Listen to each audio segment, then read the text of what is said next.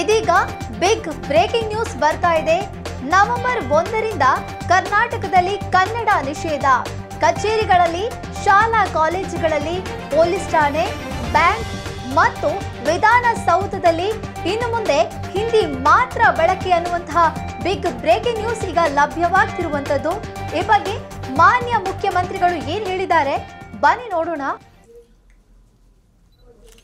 ಇದೇ ಬರುವ ನವೆಂಬರ್ ಒಂದನೇ ತಾರೀಕಿನಿಂದ ಕರ್ನಾಟಕದ ಎಲ್ಲ ಗವರ್ಮೆಂಟ್ ಕಚೇರಿಗಳಲ್ಲಿ ಹಿಂದಿ ಭಾಷೆಯನ್ನು ಕಡ್ಡಾಯ ಮಾಡಲಾಗುವುದು. ಎಲ್ಲರೂ ಹಿಂದಿ ಭಾಷೆಯಲ್ಲಿಯೇ ವ್ಯವಹರಿಸಬೇಕು.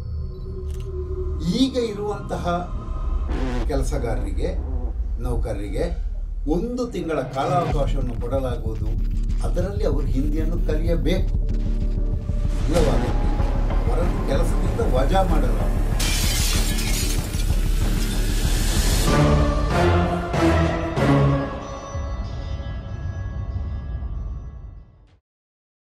तुम्हारा नाम क्या है ಕನ್ನಡ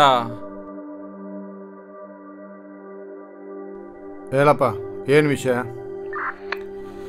ಹಿಂದಿ ಕಡ್ಡಾಯ ಮಾಡಿದ ಮೇಲೆ ಸರ್ಕಾರಿ ಕೆಲಸ ಬಿಟ್ಟು ಊರಲ್ಲಿ ಕೃಷಿ ಮಾಡ್ತಿದ್ದೆ ಸರ್ ನಾನು ಹ್ಞೂ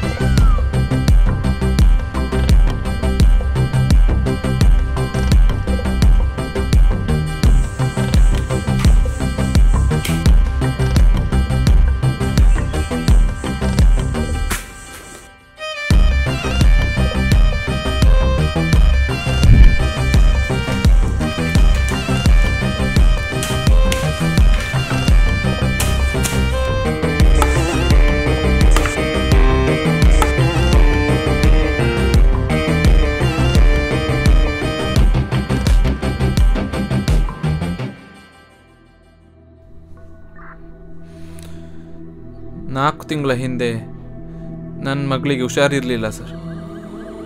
ಆಗ ನಾನು ಊರಲ್ಲಿ ಇರಲಿಲ್ಲ ಸರ್. ನನ್ನ ಅಪ್ಪ ಅವಳನ್ನು ಹಾಸ್ಪಿಟಲ್ಗೆ ಕರ್ಕೊಂಡು ಹೋದರು ಸರ್. ಅದು ಗೌರ್ಮೆಂಟ್ ಹಾಸ್ಪಿಟಲ್ಗೆ. ಅಲ್ಲಿ ಡಾಕ್ಟರ್ ಆಗಲಿ, ನರ್ಸ್ ಆಗಲಿ ಯಾರು ಕನ್ನಡದವರಿಲ್ಲ ಸರ್. ಅವರು ಕರ್ನಾಟಕದವರೇ ಅಲ್ಲ. ನನ್ನ ಅಪ್ಪನಿಗೆ ಕನ್ನಡ ಮಾತ್ರ ಬರೋದು.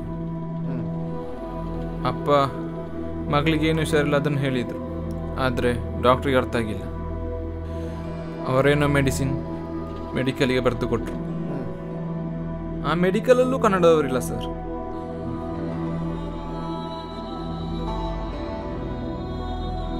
ಮೆಡಿಕಲಲ್ಲಿ ಏನೋ ಟ್ಯಾಬ್ಲೆಟ್ ಕೊಟ್ಟರು ಆದರೆ ಅಪ್ಪನಿಗೆ ಅರ್ಥ ಆಗಿಲ್ಲ. ಮೆಡಿಸಿನ್ ತಪ್ಪಿಕೊಟ್ಟು ಸರ್. ಆ ಒಂದು ಕಾರಣದಿಂದ ನನ್ನ ಮಗಳು ಸತ್ತು ಹೋದ್ಲು ಸರ್.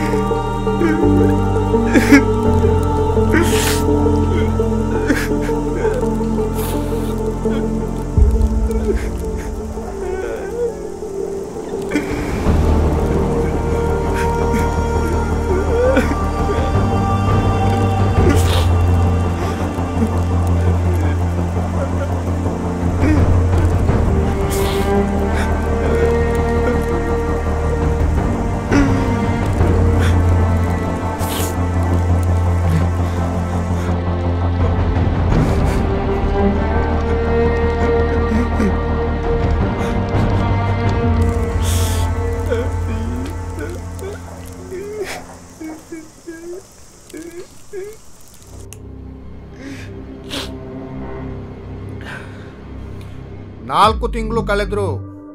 ಯಾಕಪ್ಪ ಕಂಪ್ಲೇಂಟ್ ಕೊಡಲಿಲ್ಲ? ಕಂಪ್ಲೇಂಟ್ ಕೊಟ್ಟು ಯಾವುದೇ ಪ್ರಯೋಜನ ಇಲ್ಲ ಅಂತ ಹೇಳಿ ಕೊಡಲಿಲ್ಲ ಸರ್. ಮತ್ತಾಕೆಯ ಈಗ ಬಂದದ್ದು?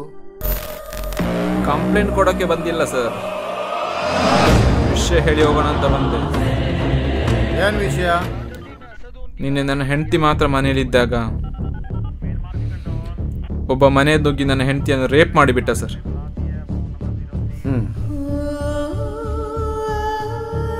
ಅವ ಮಹಾರಾಷ್ಟ್ರದವ ಸರ್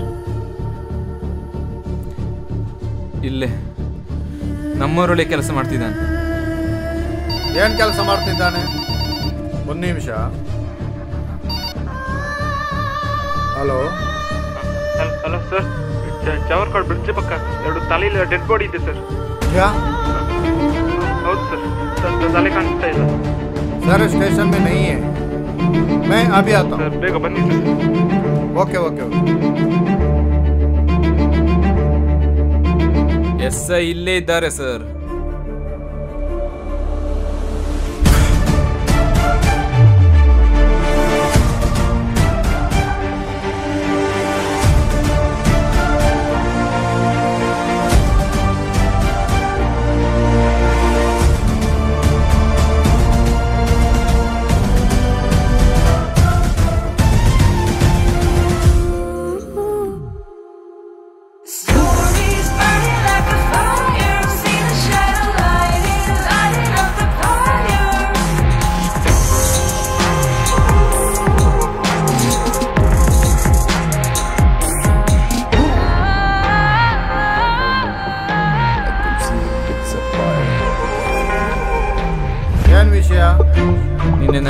ಮಾತ್ರ ಮನೆಯಲ್ಲಿದ್ದಾಗ ಒಬ್ಬ ಮನೆ ನುಗ್ಗಿ ನನ್ನ ಹೆಂಡತಿಯನ್ನು ರೇಪ್ ಮಾಡಿಬಿಟ್ಟ ಸರ್. ಅವ ಮಹಾರಾಷ್ಟ್ರದವ ಸರ್. ಇಲ್ಲೇ ನಮ್ಮೂರಲ್ಲಿ ಕೆಲಸ ಮಾಡ್ತಿದ್ದಾನೆ.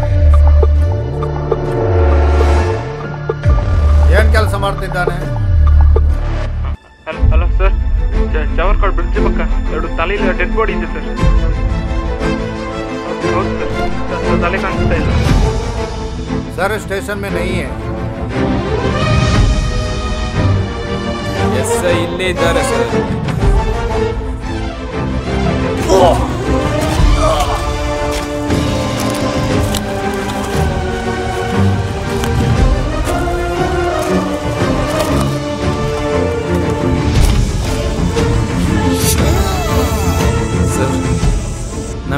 ನಲವತ್ತೊಂಬತ್ತು ಅಕ್ಷರಗಳನ್ನು ಕೊಟ್ಬಿಡಿ ಸರ್.